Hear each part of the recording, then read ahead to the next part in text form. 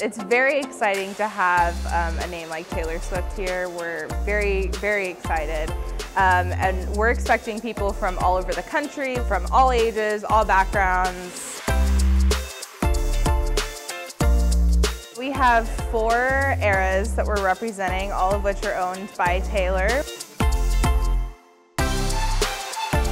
We have um, wardrobe from all of the, the eras. We have Midnights, um, Red Taylor's version, Fearless Taylor's version, and Folklore.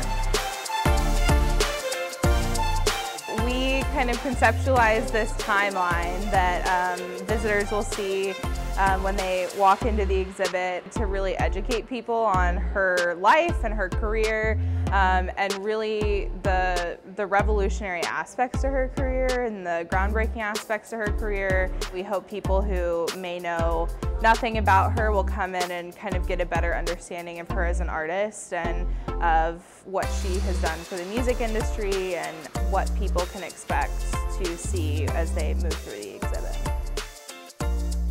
Taylor Swift Eras Tour collection is open through September 24th at the Arlington Museum of Art.